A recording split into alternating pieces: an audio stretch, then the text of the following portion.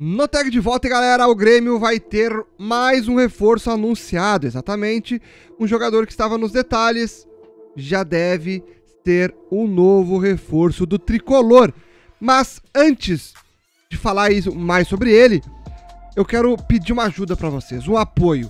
Eu não costumo pedir nada para mim, não costumo uh, pedir vaquinha, divulgar nada do tipo, mas nesse momento, cara, eu não vejo outra, outra forma a não ser recorrer a você sobre isso. Eu deixei o link aí de uma vaquinha que é sobre o meu projeto, o Papo Copeiro, o meu podcast, que a gente traz diversos uh, jogadores, ex-jogadores, jornalistas, influencers, cantores, comediantes, cara, todo tipo de pessoa que tem algum vínculo com o Grêmio. E, cara, é um projeto que a gente dedicou tanto. tanta dedicação, tanto tempo, dinheiro. E foi tudo por água abaixo, literalmente. Nessa enchente que nos afetou lá em Canoas. E o Papo Copeiro não pode acabar. Porque não é algo que é, é bom só para nós. Até porque eu vou ser bem sincero para vocês. É um, é um trabalho que a gente tem se dedicado tanto tempo. E agora que a gente estava começando a ver algum retorno. E aí acontece isso. E de fato, a gente tirar do nosso bolso, a gente nem conseguiria sozinho reerguer em tão pouco tempo.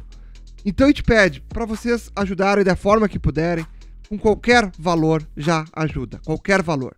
Quem puder doar um, dois, cinco reais, dez reais, cinquenta reais, cem, mil, dois mil, quem puder ajudar do jeito que for, a gente já vai agradecer demais. Ah, Noteg, eu não tenho nenhum real. Pô, compartilha então, compartilha a vaquinha com alguém que possa ajudar, que possa ajudar compartilhando também. Porque pode ser que chegue em alguém que um valor simbólico pode realmente fazer a diferença. De repente, um, um pequeno ou um grande valor que para a pessoa não é muito, para nós vai ser demais. E te agradece muito o apoio, todo mundo que está ajudando aí na nossa causa, que é do nosso projeto, o nosso sonho, que a gente teve tanto amor e carinho, tanto cuidado, e que, querendo ou não, é o nosso trabalho. Beleza? Muito obrigado a todos aí que puderem ajudar.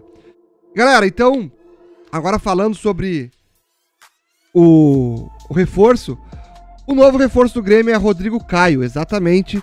A informação é essa, Rodrigo Caio terá o novo jogador do Grêmio. Estavam nos detalhes, alinhando como seria a questão do contrato, de produtividade, e foi acertado. Rodrigo Caio é o novo jogador do Grêmio, conversado e chamado pelo Renato Portaluppi. É um jogador que o Renato mesmo bancou e disse: não, eu vou trazer ele. Ele estava livre, né? Estava livre, não estava mais no Flamengo. E por esse motivo dele estar livre no mercado, ele vai poder estrear a partir do momento que ele for anunciado no Imortal. Porque não precisa esperar a janela abrir para ele poder ser inscrito. Como é um jogador que está sem clube, ele chega, farda e joga. Este também é um grande uh, um grande motivo do Grêmio ter tentado esse jogador, que não, não precisará esperar até julho. Agora em junho ele já vai poder jogar algumas partidas. Então, Rodrigo Caio, que é um grande interesse de Renato Portaluppi, agora está sendo o novo reforço do Grêmio. Ah, mas e o histórico dele, Noteg? Ele é um jogador que está sempre se lesionando. Sim, ele passou aí por algumas lesões. Lembrando que 2023 ele não teve lesões, né? Mas foi uma das temporadas que ele menos atuou também. Então, a decisão pela renovação ou pela não renovação com o Flamengo foi inclusive aí pela questão de no Flamengo não estar sendo muito utilizado, né? Não está sendo muito utilizado. E aí o Rodrigo Caio também já, já não estava muito contente com esse com esse, essa, essa atual fase dele lá pelo Flamengo e acabaram desvinculando ele, ficando sem clube, se recuperando até também, né? Uh, ficando mais apto a tentar em algum outro clube recomeçar aí a sua carreira, né? Dar reinício à sua carreira. E agora, no Grêmio, ele será o novo reforço. Lembrando que ele teve aí 5 anos no Flamengo, colecionou 11 títulos no Flamengo e uma despedida como ídolo.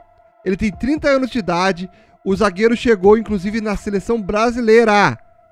Só que as frequentes lesões fizeram com que ele atuasse menos nos últimos dois anos, onde ele atuou por apenas 25 jogos. Mas isso aí, gostaram da contratação? Rodrigo Caio, te agrada?